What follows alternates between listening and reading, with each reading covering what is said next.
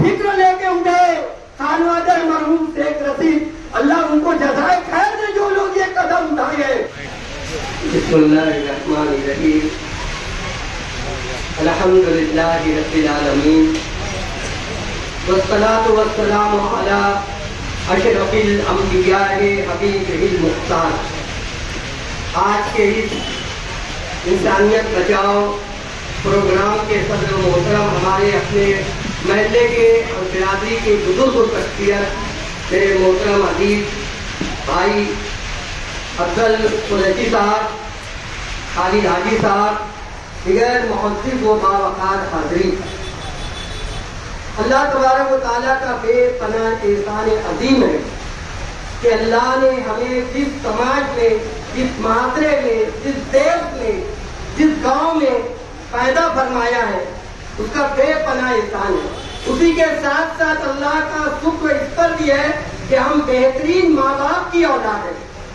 अल्लाह ने हमें ऐसे माँ बाप की गोद में आँख खोलने का फजल फरमाया, जो इसको हलाल से हमारी परवरिश की है और हम इस माशरे में आए हैं और इस माशरे की इसलाह के लिए वक्तन फक्तन सभी हमारे शहर के लोग जद्दोजहद करते रहते हैं।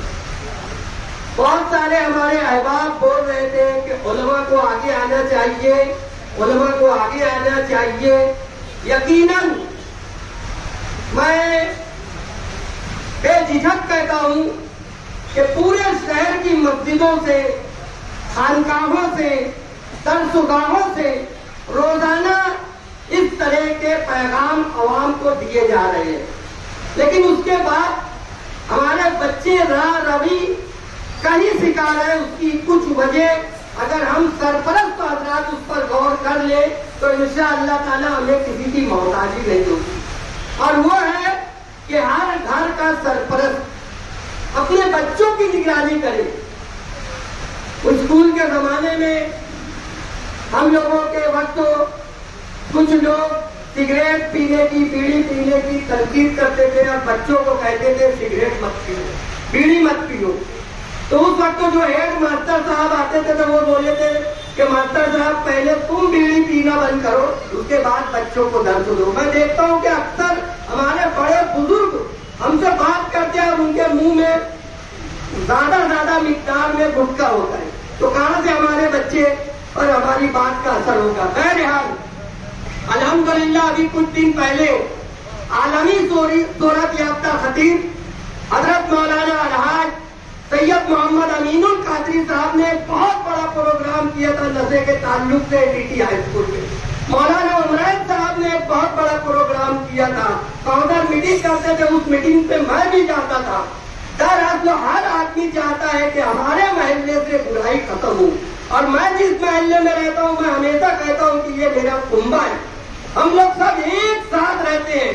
अगर सियासी मामला में कोई मामला में हमारा इख्तलाफ हो जाता है। लेकिन जब समाजी बात आती है तो अलहमदिल्ला कमाल पूरा मोमिन पूरा एक साथ कहा रहता है? क्या बात। ये अल्लाह का फ़र्ज़ है।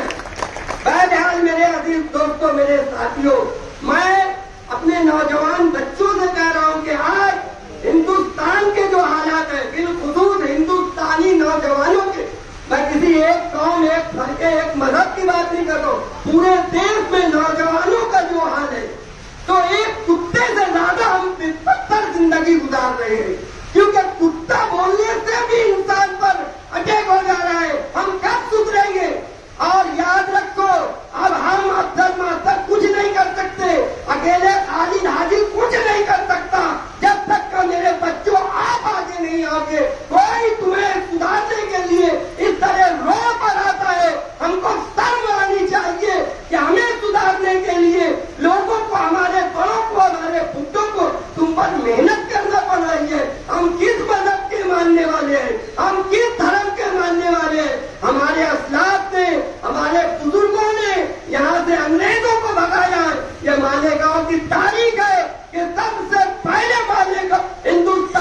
में तो गया है तो वो मालक काम है और यहाँ पर हमें सुधारने के लिए हम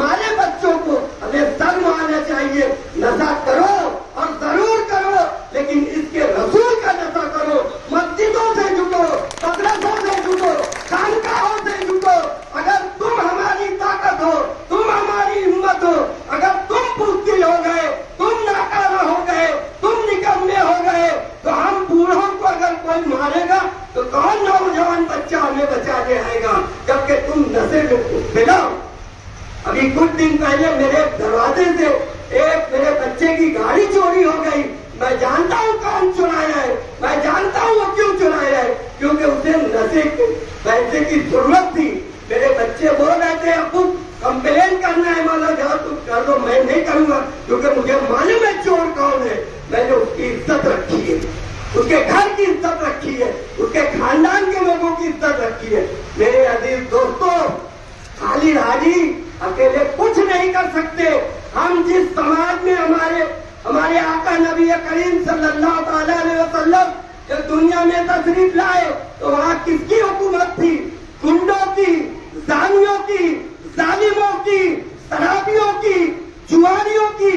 आका ने अपना ऐसा किरदार पेश किया कि वही जुआरी वही शराबी वही गुंडे हमारे आका का कलमा पढ़कर उनकर ऊपर जान देने वाले हो गए हमें तो इस्लाम वसारत इससे नहीं मिला है हमें कोई सुधारने आएगा अल्लाह उनको जजाए खैर दे तो उन्हें कौम का दर्द है कौम की फ़िक्र लेके उठे खानवादर मरहूम शेख रसीद अल्लाह उनको जजाए खैर दे जो लोग ये कदम उठाए हैं लेकिन कम से कम मैं मेरे महल्ले के नौजवान साथियों से कहता हूँ कि आप सब यहाँ हाथ उठाकर सत्र की मौजूदगी में खाली राज़ी से वादा करो क्या इंशा अल्लाह ताला हम हमारे महल्ले से इस दानत का खात्मा करेंगे इंशा अल्लाह ताला झगड़े से नहीं डंडे से नहीं प्यार से हमको समझाना होगा जिस तरह सरकार दौलत सल्लल्लाहु अलैहि वसल्लम ने गुंडों को संवारा है सुधारा है इस तरह हम भी प्यार से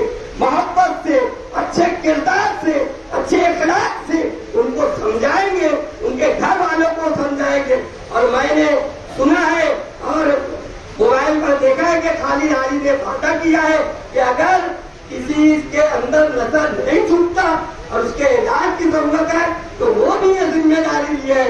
मुझे याद आता है, कुछ रोज पहले इसी चौक में डॉक्टर जाकिर हुसैन की सदारत में एक प्रोग्राम हुआ था और मैंने ऐलान किया था अशरफ अकेडमी की तरफ़ से कि जो हमारा बच्चा गुटका छोड़ना चाहेगा, हम अशरफ अकेडमी की तरफ़ से पचास पचास ग्राम रोज़ाना उसको बादाम देंगे। कुछ दिन कुछ बच्चे आए, बादाम लिए, और उसके बाद आना बंद कर दिए। मैं बोला, बेटा, क्यों बादाम लेने नहीं आए? बोले चचा नहीं छूटना। मुझे अफसोस है, हम अपनी माँ का दूध ढाई साल में छोड़ देते और गुटका नहीं छोड़ पाते। ये क्या बात है? मेरे अज़ीज़ दोस्तों हिम्मत मर्दा मदद खुदा इन नमाल बिनियाद सिर्फ़ नियत कर दो अल्लाह की मदद आएगी ना तलमातर की ज़रूरत है न खाली हाजी की ज़रूरत है न रफी की ज़रूरत है अल्लाह तुम्हारा कारसाब है अल्लाह बंदा नवाज़ है इंशा अल्लाह तब लालच छूट जाएगी। लेकिन नौजवान साथियों, तुम हाथ को कर लो, तुम इरादा कर लो। मैं अपनी तरफ़ से इस प्रोग्राम का करने वालों को दिल की गहराइयों को मुबारकबाद देता हूँ। अल्लाह तबारा को ताला इन सबको जताया खैर वालेकुम